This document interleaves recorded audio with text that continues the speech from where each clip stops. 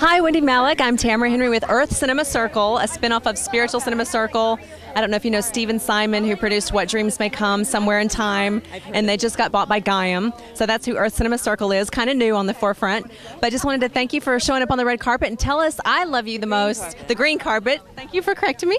And I loved you the most. I loved watching you in Just Shoot Me. I loved your style and everything. But what are you doing these days? Are you doing any more environmentally conscious television shows? What are you up to? Uh, actually, I did a pilot for ABC that um, that would. It, we're hoping that it's still they have us on hold, sort of. But it was about Washington politics and my hope is it, it could be a sort of all in the family, you know, kind of something where you have the conservative Republican and the liberals Democrat and, and how they argue about everything. But we'd love to bring up some of those issues that are so polarizing for people, exactly, you know, including that's where change happens, and, right? and environment and right.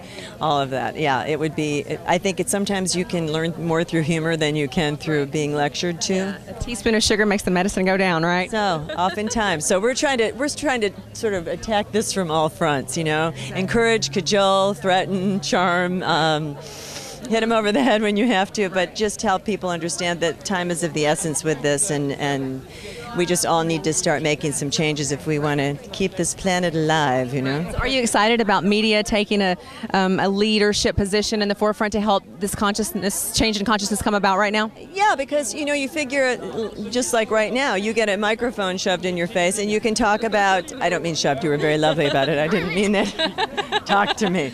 Um, but when, you, when you're given this, this forum to, to like express your feelings, why not make it about something that you actually care about and that might maybe somebody out there would say, "Oh, I didn't know she did that. Maybe I'm going to try that too." So it just seems like a great opportunity. And instead of just wasting it talking about your clothes, which fun as that can be, uh, there are some other issues. Kind of right. would be we nice to talk to, about more than who we're wearing. We get to talk about who we are these days, right? Yeah, yeah a little bit. And uh, and I think that Hollywood is deepening. Who knew? yeah, I think there have always been people who who were yeah very thoughtful and very conscious. There certainly are, and, and you'll see a lot about tonight you know but it's it's a wonderful thing when you can use people who have become heroes to particularly a lot of young people out there who can also say i need you to pay attention to something you know this is something important to me and i hope you'll look into it and maybe it'll shift the way you live too well, before you leave, I'd love for you to look into our camera and say your name and say um, hello that you're watching Earth Cinema Circle. Right there.